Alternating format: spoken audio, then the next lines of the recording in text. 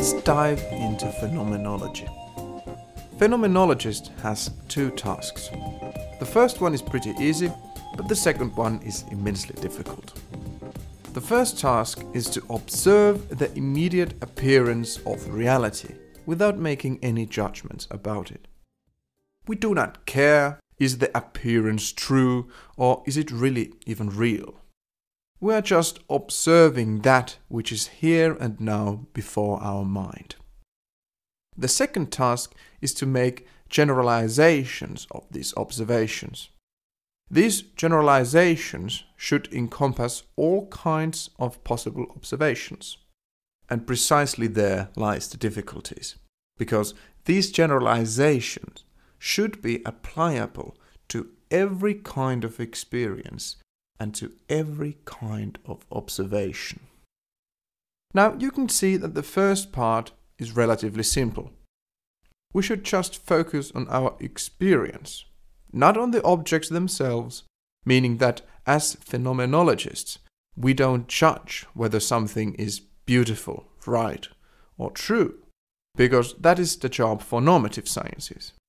Or even contemplate is this or that object really there or not, because that is job for metaphysics. Phenomenologists should observe the observation itself. Instead of observing the experienced object, we observe the experience of that object. By this way, the experience itself can be observed without supposing anything about the reality of what is being experienced.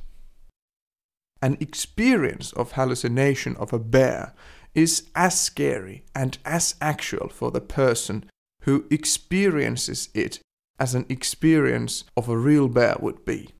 The experience observed is basically the same, although the reality of the experienced object is not. Phenomenologist thus asks the following questions What is present to my mind, and how it appears to my mind? But we run into problems with the second task. How can we describe and furthermore generalize the appearances that are present to the mind?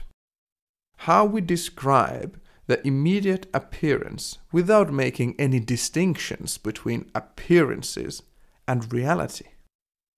We can't use our everyday language because it is normative, that is, it makes claims about the reality.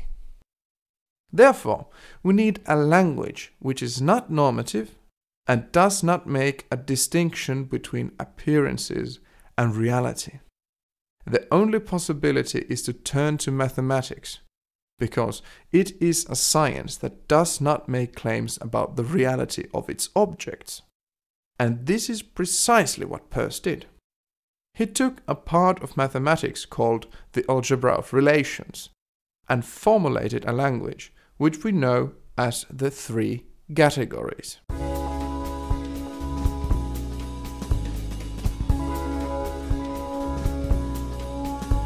The language which Peirce true from the algebra of relations is in itself pretty simple. A relation has a certain number of items that relate in that instance. The order or adicity of relation is that number of relations it has. A relation can be monadic, dyadic, and triadic, and so on n-adic with n number of relations. A monadic relation has only one relation, x, at a time. We can represent this with the notation Rx. If R means being blue, Rx means that x is blue. Monadic relations are usually called properties, qualities or attributes. We know these monadic relations as firstness. A dyadic relation has two relations, x and y, at a time. We can represent this with the notation Rxy if R means for example a relation of loving, Rxy means that X loves Y. These relations we know as secondness. A triadic relation has three relations, x, y, and z at a time. We can represent this with the notation rxyz. Rxyz could represent the fact that x gives y to z, and this we know as thirdness. And this is basically the language that Peirce borrowed from the algebra of relations. But now we need to connect this language to the phenomenological science, that is, the observation of experience. Peirce used a method called prescission. It is an asymmetric act of abstraction, or in a more familiar terms, attending to one thing while neglecting another. For example, we can attend to space while neglecting color, but not vice versa. We can think about space without any color in it. But if we imagine a color, the color must be in a space. With the method of prescission, we can build an ordered series of categories by successive steps of prescission. In this manner, we are able to isolate elements of experience that are logically independent from other elements of experience. Consider the following example. You are watching the snow falling from the sky. You experience a blurry, general, unindividuated, continuous snowfall. Next, you begin to concentrate to the experience of that snowfall. You experience continuity. The snow falls to the ground as a constant stream of snowflakes. This is the experience of thirdness. You fix your eyes on a single falling snowflake. Now you have neglected the experience of the stream of snowflakes and attended to a single element in it. This is the first step of prescission. Now you experience the brute actuality of this one snowflake, its individuality, its contrast to the other snowflakes you experience the actuality of here and now. This is the experience of secondness. You can furthermore concentrate on the color of the snowflake, that is, its whiteness. You can neglect its actuality, individuality, and contrast, and attend only to its quality. This is the experience of firstness. With prescission, we can thus separate and identify the categories in our experience. Furthermore, with prescission, we are able to investigate the relationships between the categories. Now, let's reflect our example a bit more. From this example, we can infer two kinds of relations between the categories. The focus on the quality of the snowflake that is, its white color or firstness, is possible only through secondness.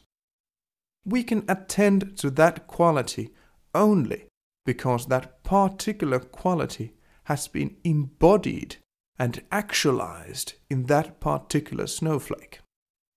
Basically, if there weren't any snowflakes, there would not be a white color to focus on.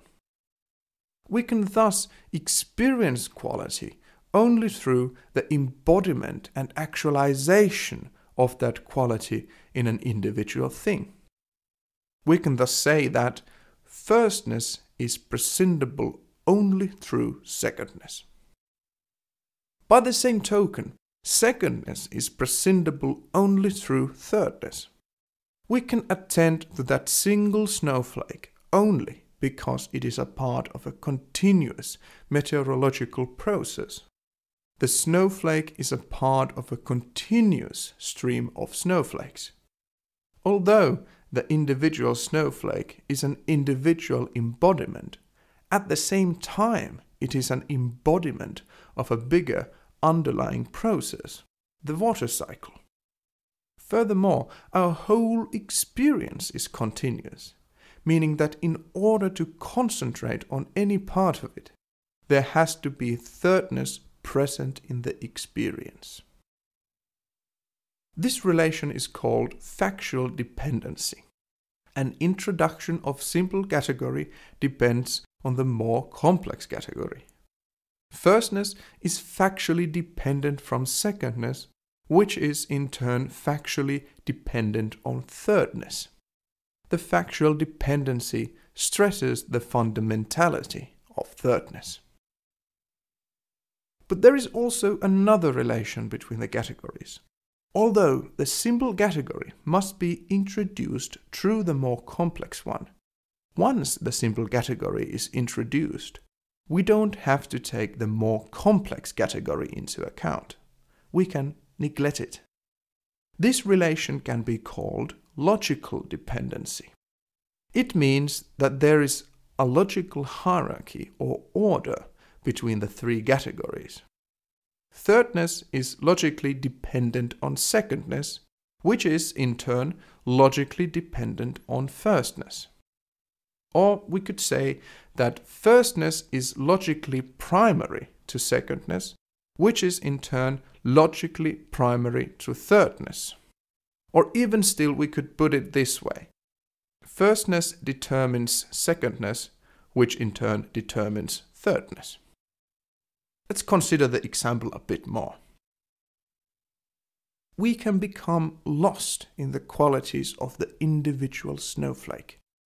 We don't need to consider the concrete actuality or materiality of the snowflake, or the continuity that allows the experience to mediate information.